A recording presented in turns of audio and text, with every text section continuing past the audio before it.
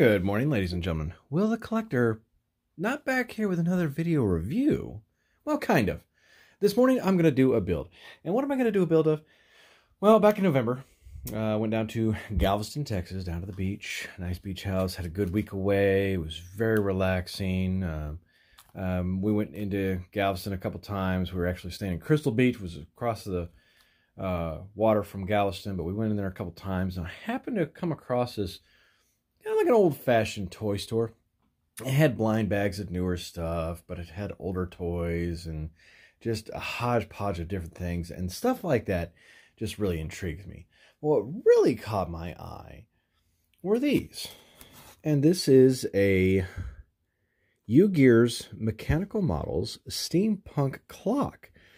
Now, if you like, you go to their ugearsmodels.com. You can get these things on Amazon that I know of. I haven't gone looking around to other websites like Target or Walmart, but I saw these and they just intrigued the crap out of me. I really love building stuff. I love building Legos.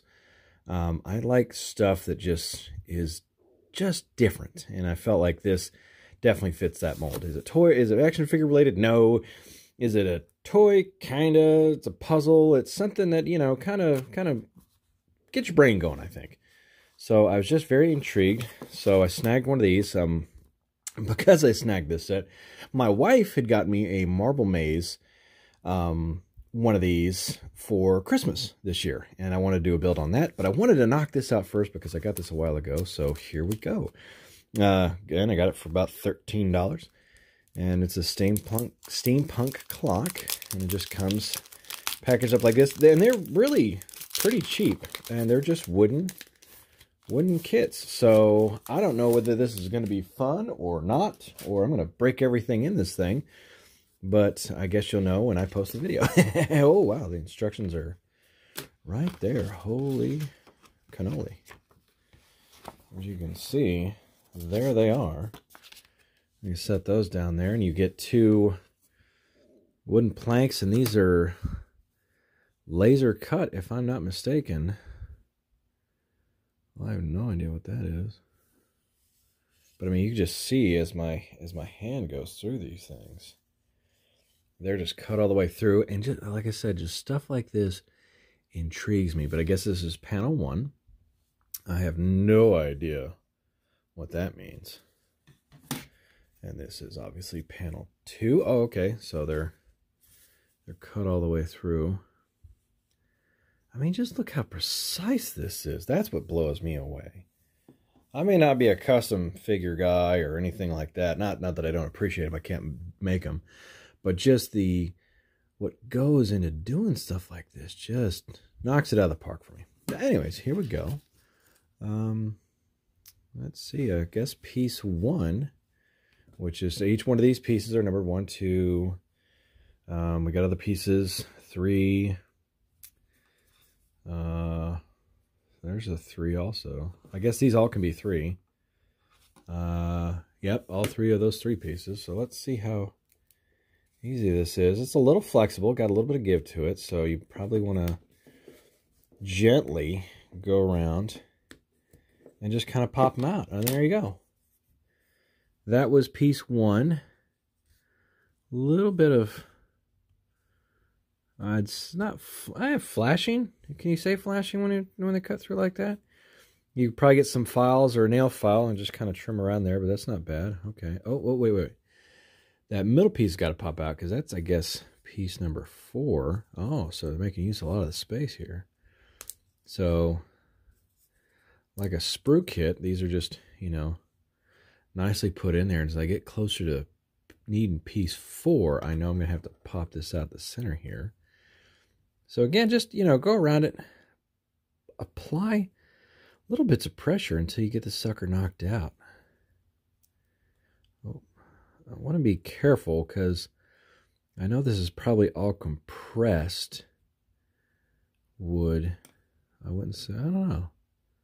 I'm really, I'm really, I'm a little worried just for the fact I don't want stuff to flake off. But I'm going to kind of leave that there or in there so I know that's piece number four so I'm not looking around like a like a noob going where did that piece go okay so we got piece number two, which has another four piece in the center of it. So they're making use of their space here, which is cool. Okay, so just nice and neatly pop that out. So I got piece one and piece two, and then just gently popping out piece four.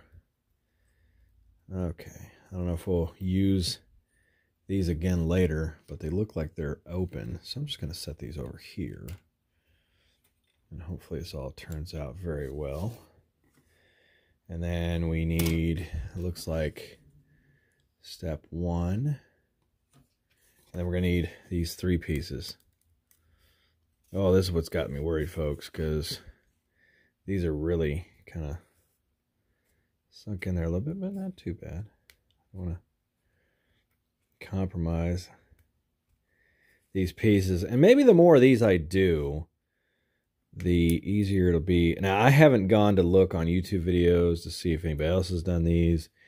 If you have, and I'm just totally not doing this stuff right, you know, this was just something I picked up at the store and I was intrigued by. Up as my dogs go ape crazy because somebody's probably delivering something. Let's see.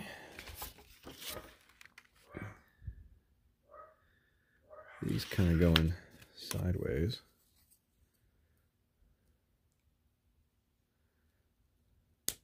Oh, good lord.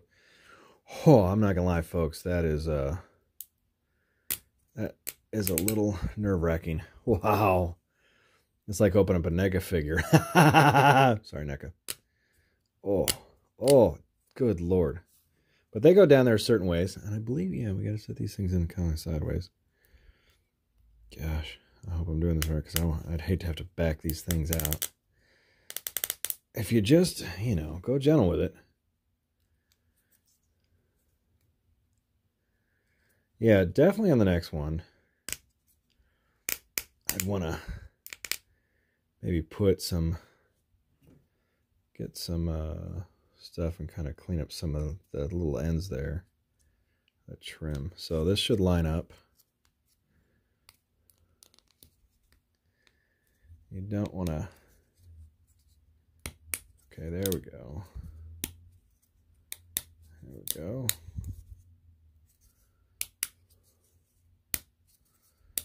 Just take it a little by little.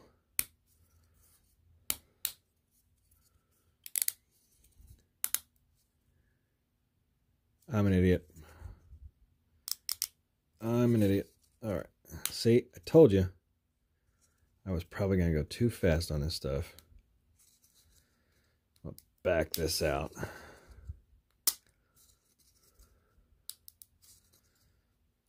See, I rushed I wasn't paying attention to the instructions. These things were supposed to go in first to create a nice base.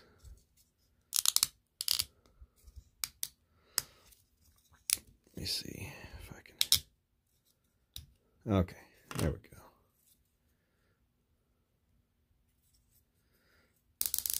Oh, there we go. A little bit forgiving. Back in it.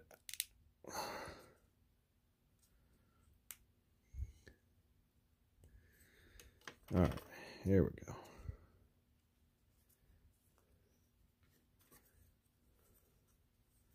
Okay, again, because these were supposed to go through, I want to flip this back around.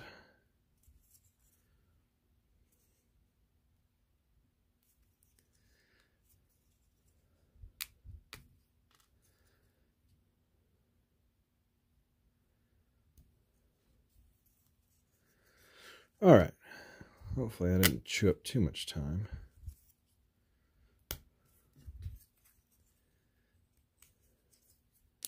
You do once. There we go. Oof. Can be rough on the tips of the, of the fingers. Okay.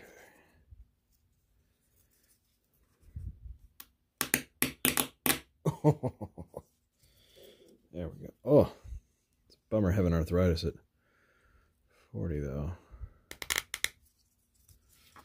Use my table to my advantage. Oh, my Lanta. Okay. Ooh, all right. Let's see.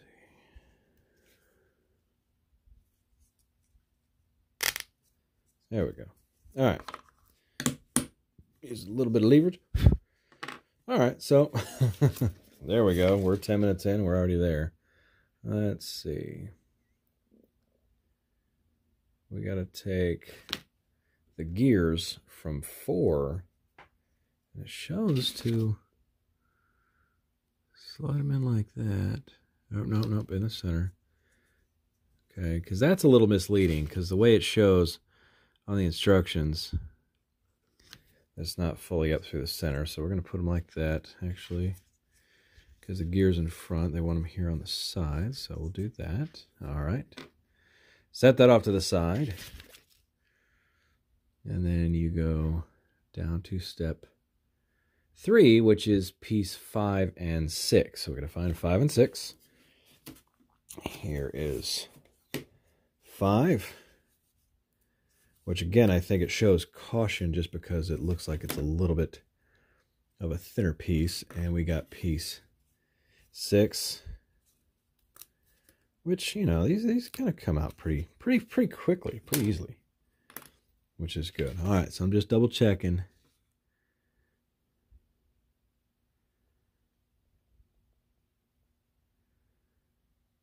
All right, and it shows a caution right there. That tells me caution. Or, hey, knucklehead, look at this. That's going to go above that U-Gears logo. So that tells me everything kind of lines up.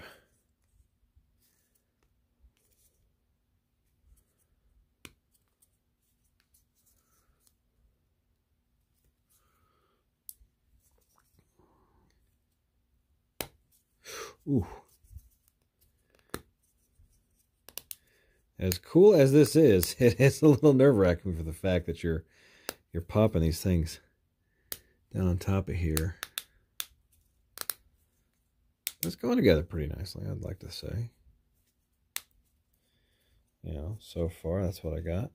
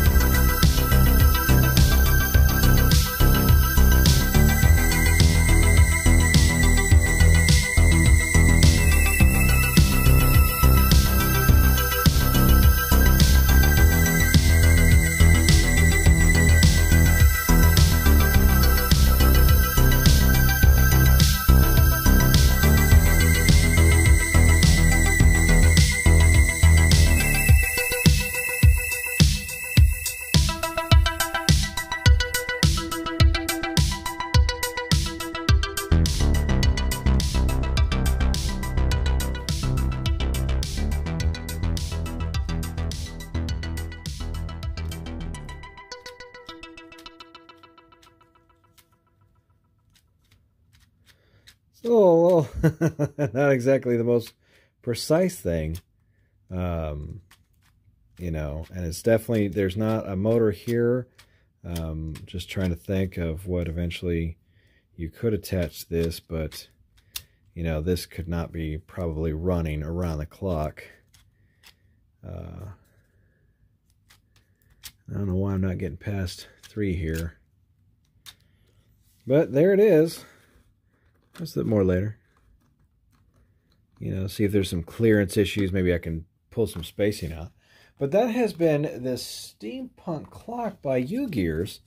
Again, if you uh, go to ugearsmodels.com, again, I can find these on Amazon. Hopefully, this hasn't been too bad and y'all have enjoyed it. Uh, again, my producer will probably speed this up to help for this thing along. But this was really fun. I really enjoyed this. Um, you know, uh, very fun build. If I...